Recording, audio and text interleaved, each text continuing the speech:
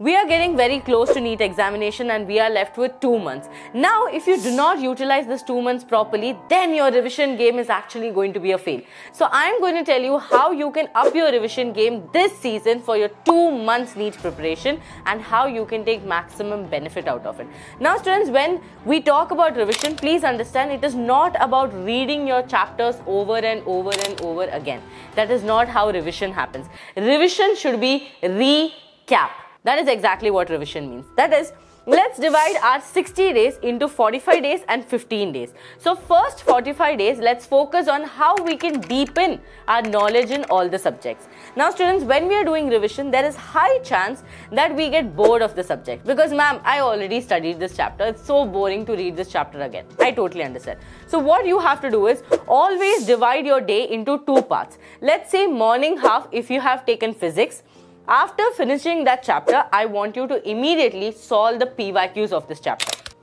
Then take a short break or take a nap. After that, your second part of the day, take another subject, revise another subject and do the PYQs immediately after learning this chapter. Now this way what happens, you have learned the chapter, you have revised the chapter and now you're solving questions. So you exactly understand how much do i remember how much better can i do this. So it becomes like a recap also like a 360 analysis of your performance. Second part that is your 15 days what you're going to do you're going to do core practice. That is you're going to solve mock papers after mock papers to just understand how much i know let me take a very simple example. Morning I was taking a class and most of the students knew all the concepts really well. But when it came to solving the questions, they were not able to connect the concept to the question. Why does this actually happen? This happens because you do not know that from this concept, how does the question come from? That means you do not know the framing of the question. For this, what can I do, ma'am? What can I change about it? Solve after every chapter that you do let's take you have taken a unit genetics unit. You have done principles of inheritance molecular basis and evolution. Now you're going to solve pyqs of this chapter. You can select the chapter and you can solve pyqs of this chapter. Now you will know that exactly how does a stabilizing directional and a disruptive graph will be asked for your examination. This way your understanding becomes better this is the most important thing. Now, as I told you, the last 15 days when you're practicing mock paper, all of you will be thinking that where can I find the mock paper, ma'am? So, students, Vedantu have launched All India Test Series and lots of students have already bought their All India Test Series. And let me tell you, this time All India Test Series will be delivered at your home or at online. If you want it to be delivered at your home, it is at a price of 1200 and if it is at online, it is at 699 which is actually similar to one of your Prime, Hotstar, Jio subscriptions So do not fail back, solve your PYQs with the help of OMR sheet. As I told you, bubbling is very important and without looking at OMR sheet or not solving OMR sheet, you will never be able to know. Now, whenever you're studying, there is chances that you get bored very fast. During this times, I want all of you to stand up, change the location don't sit in your study table for you know 6 hours straight 7 hours straight walk take a walk take your NCERT with in your hand and start walking now I want to tell you, let's divide into subjects. Okay, let's start with physics. Now, in physics, what you need to remember most importantly is about your numericals. You have to solve your numericals, you have to solve your formulas. Now, you have to remember this. To remember numericals and formulas, you have to practice.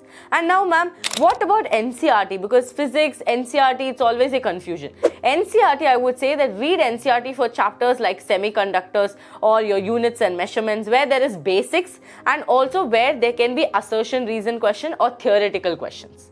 Now coming to the most important thing that is again here also whenever you're preparing for physics do not ignore formulas okay for that uh, Shreya has done multiple videos on formulas you can check it on the channel. Now coming to chemistry. Students chemistry and biology when you think about especially organic chemistry you should know that you have to learn. You have to write and learn all the reactions. And when you come to physical chemistry again practice physical chemistry. That means you write and practice the numericals or the equations and etc and organic chemistry you have to learn every reaction thoroughly Now, when you come to inorganic, I would say please stick on to tricks or mnemonics that Diksha ma'am has told in the previous classes where you can, you know, learn the concepts easily, especially uh, with your coordination compounds. Okay, learn your coordination compounds thoroughly. Read NCERT line to line because a lot of theoretical questions come from this topic.